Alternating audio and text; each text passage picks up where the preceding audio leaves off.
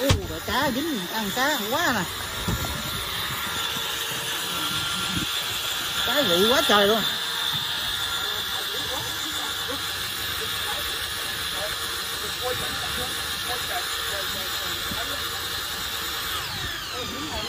Dính rồi dính là hai người dính nhau rồi.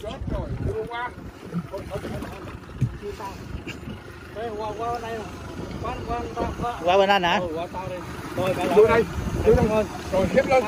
Không. Dỡ lên, dỡ lên. Anh coi chừng cái dây của anh vô chân vịt. Anh phải đưa ra khỏi chân vịt. Ờ, anh phải gạn ra khỏi chân vịt.